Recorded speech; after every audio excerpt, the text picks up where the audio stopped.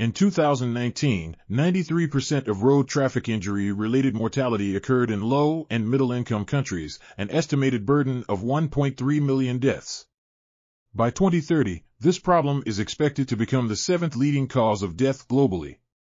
This study examined factors associated with road traffic injuries in the central region of Mozambique, including urbanicity, household ownership of a car or motorcycle, and socioeconomic strata index. It found that urban residents had a 47% lower chance of being injured on the roads compared to those living in rural areas. Additionally, households owning a motorbike had a 92% increased likelihood of suffering from a road traffic injury. Finally, higher socioeconomic status households were associated with a 26% greater chance of being involved in a road traffic accident.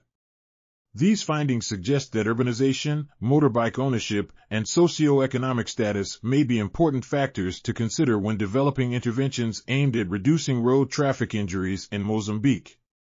This article was authored by Andre Peralta Santos, Sarah Gimbel, Reed Sorensen, and others. We are RTCL.TV, links in the description below.